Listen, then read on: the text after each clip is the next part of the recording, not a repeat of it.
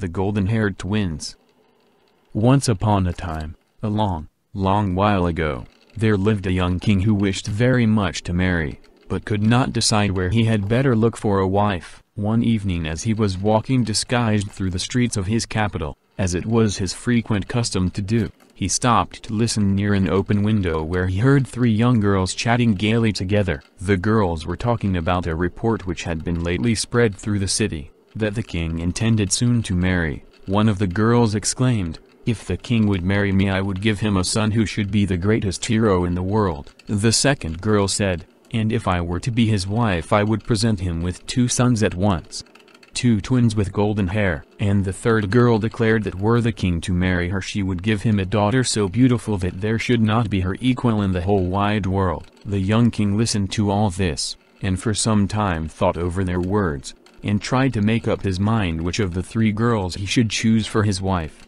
At last he decided that he would marry the one who had said she would bring him twins with golden hair. Having once settled this in his own mind, he ordered that all preparations for his marriage should be made forthwith, and shortly after, when all was ready, he married the second girl of the three. Several months after his marriage, the young king, who was at war with one of the neighboring princes, received tidings of the defeat of his army, and heard that his presence was immediately required in the camp.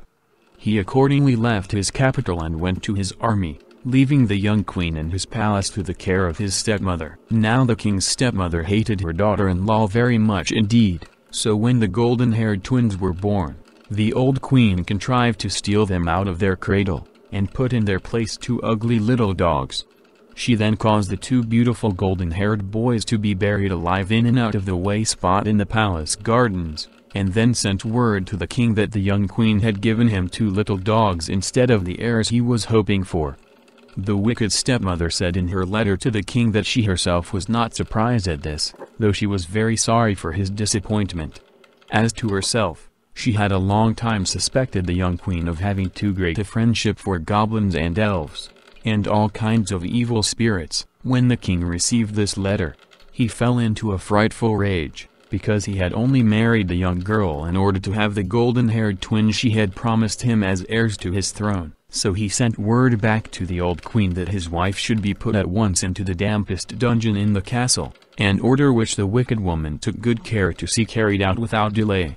Accordingly the poor young queen was thrown into a miserably dark dungeon under the palace, and kept on bread and water. Now there was only a very small hole in this prison, hardly large enough to let in light and air, yet the old queen managed to cause a great many people to pass by this hole and whoever passed was ordered to spit at and abuse the unhappy young queen, calling out to her, Are you really the queen? Are you the girl who cheated the king in order to be a queen? Where are your golden-haired twins? You cheated the king and your friends, and now the witches have cheated you. But the young king, though terribly angry and mortified at his great disappointment, was, at the same time, too sad and troubled to be willing to return to his palace so he remained away for fully nine years.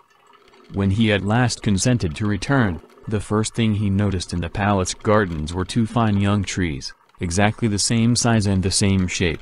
These trees had both golden leaves and golden blossoms, and had grown up of themselves from the very spot where the stepmother of the king had buried the two golden-haired boys she had stolen from their cradle. The king admired these two trees exceedingly, and was never weary of looking at them.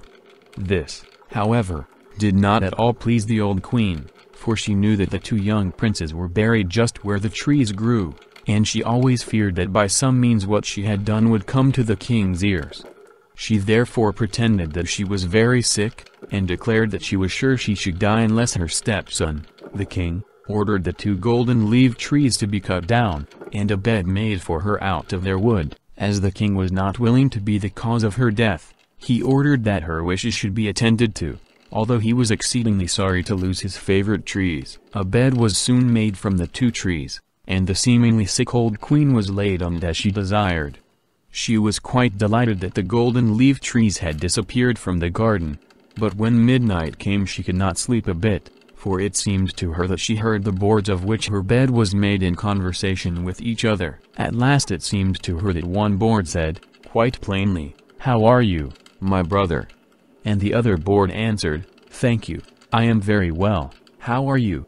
Oh, I am all right, returned the firstborn, but I wonder how our poor mother is in her dark dungeon. Perhaps she is hungry and thirsty. The wicked old queen could not sleep a minute all night, after hearing this conversation between the boards of her new bed, so next morning she got up very early and went to see the king. She thanked him for attending to her wish, and said she already was much better, but she felt quite sure she would never recover thoroughly unless the boards of her new bed were cut up and thrown into a fire.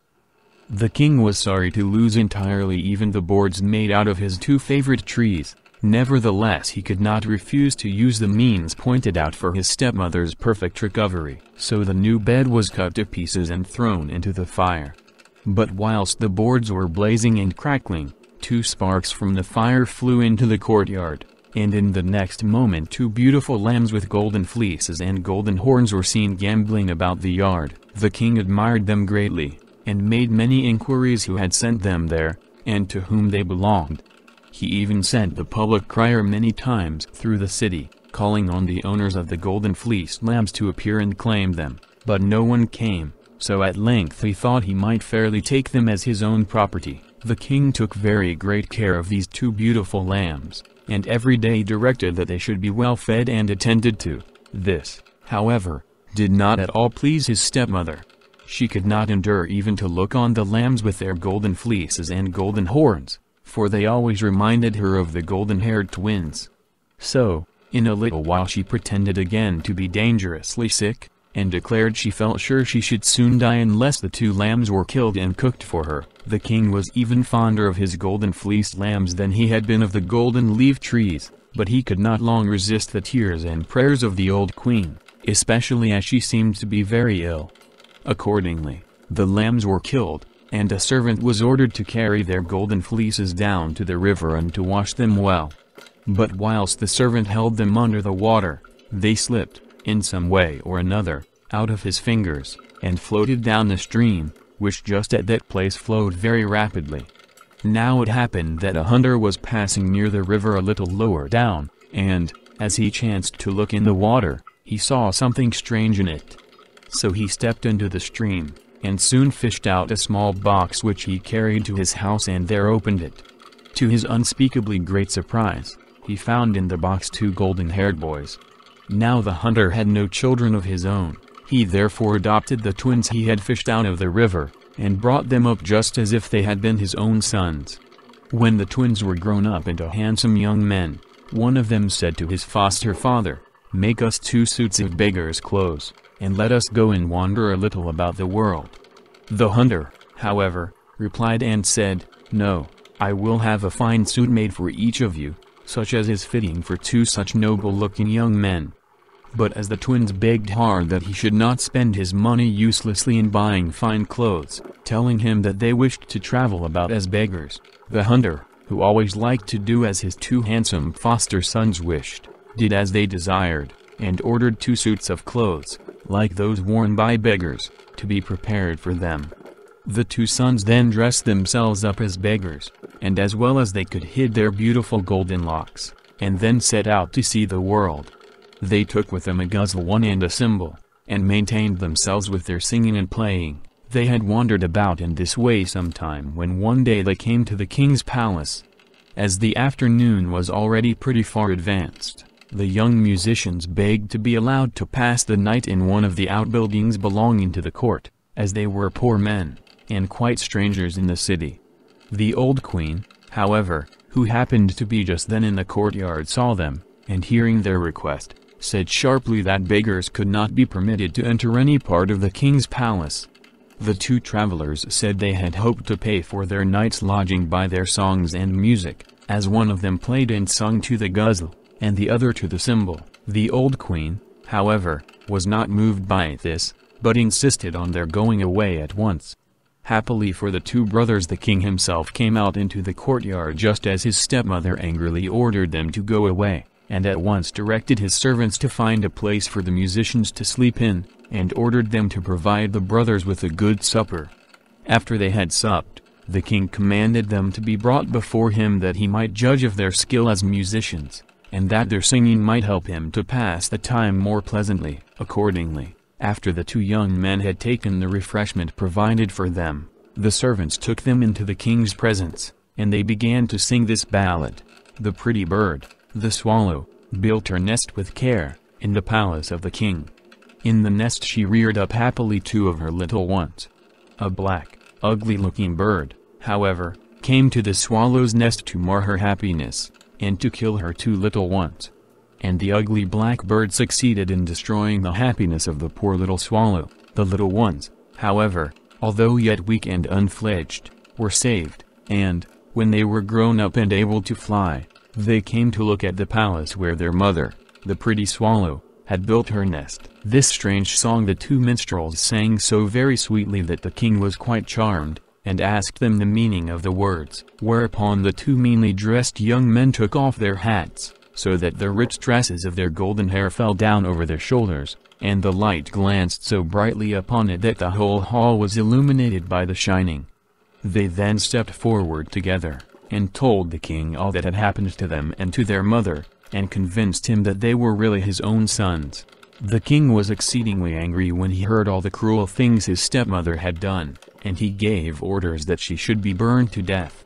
He then went with the two golden-haired princes to the miserable dungeon wherein his unfortunate wife had been confined so many years, and brought her once more into her beautiful palace. There, looking on her golden-haired sons, and seeing how much the king, their father, loved them, she soon forgot all her long years of misery. As to the king, he felt that he could never do enough to make amends for all the misfortunes his queen had lived through, and all the dangers to which his twin sons had been exposed. He felt that he had too easily believed the stories of the old queen, because he would not trouble himself to inquire more particularly into the truth or falsehood of the strange things she had told him. After all this mortification, and trouble, and misery, everything came right at last. So the king and his wife, with their golden-haired twins, lived together long and happily.